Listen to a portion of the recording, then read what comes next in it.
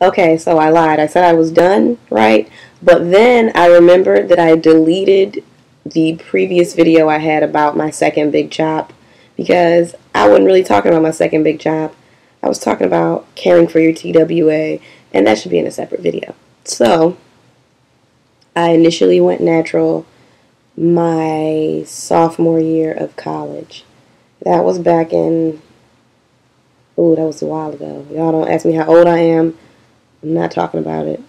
Just mind your business. But anyway, um, so I've been natural for five and a half years now. Um, I transitioned that particular time.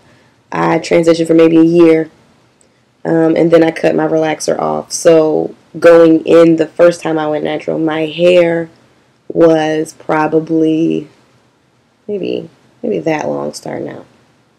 So I had a good amount of hair.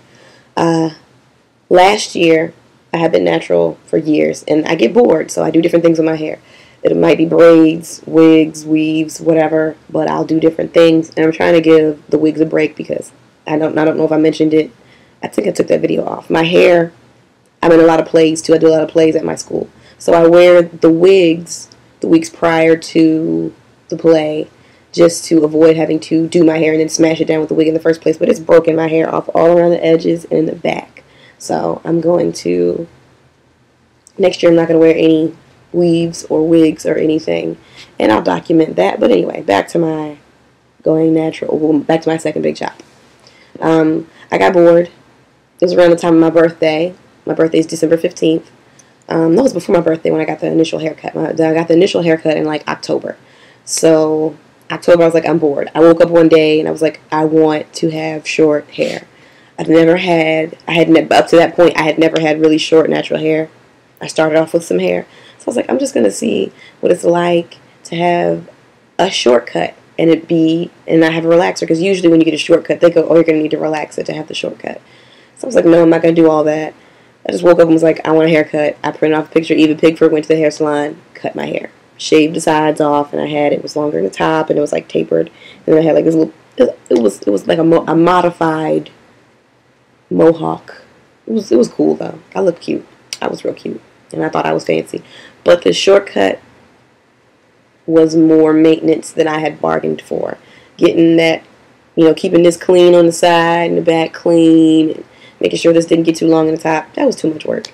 I said, you know what? In January, I'm going to cut this part off. So I let the sides grow a little bit. They weren't even an inch long. I let them grow out a little. January of this year, shaved it all off. I just shaved the middle off and made it all even with the sides that were already shaved, shaven. Um, and I, I felt great. It was wonderful. I really enjoyed my time of having that really, really short hair. It was so low maintenance. And I felt like it looked good on me. Um, it is now November the 21st. And my hair, I clipped my ends yesterday. My hair is this long now. In the front, goes to my lip. Mm, can you see that? Goes to my lip. And in the back, my hair goes to my collarbone.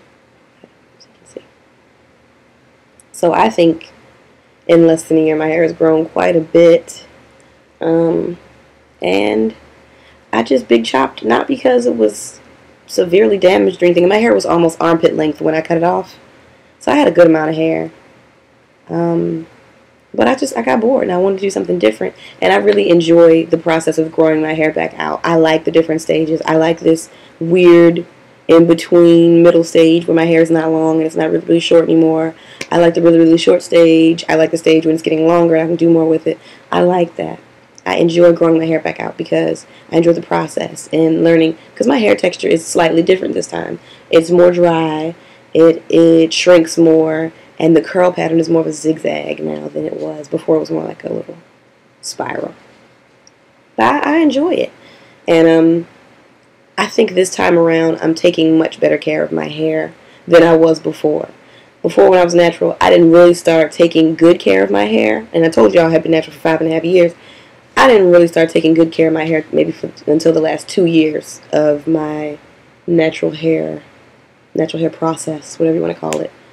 Um, I, I always had some type of catastrophe color damage, heat damage, um, wasn't clipping my ends, and I would have to cut two and three inches off my hair at a time. Like for the first three years, I was natural. And then I decided to really take care of my hair, and then it's when it flourished and grew. But then I got bored, and I was like, I want a haircut. So this time around, knowing what I know now, having the knowledge that I know, I know that my hair will be much healthier, and I can grow it and maintain the length that I'm gaining when I'm growing it out. So that's it. That's why I did it, and that's what happened. And I'm done. So I lied before and I said I was done. Because clearly I have on the same clothes. So you know I made this video on the same day as the other one. it's not a secret. But I'm finished. So enjoy your day. For this time. Bye.